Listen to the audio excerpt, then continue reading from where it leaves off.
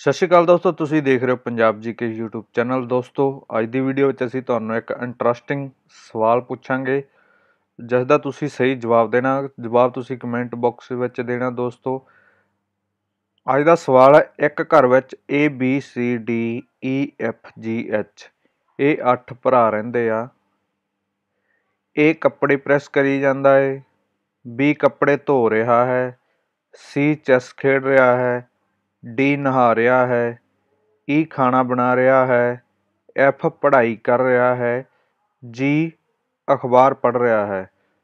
ਦੋਸਤੋ, ਪ੍ਰਸ਼ਨ ਇਹ ਹੈ ਕਿ ਉਸ ਸਮੇਂ ਐਚ ਕੀ ਕਰ ਰਿਹਾ ਹੈ? ਹਿੰਟ ਅਸੀਂ ਦੇ ਦਿੰਨੇ ਆ ਸਵਾਲ ਦਾ ਜਵਾਬ ਉੱਪਰ ਹੀ ਹੈ।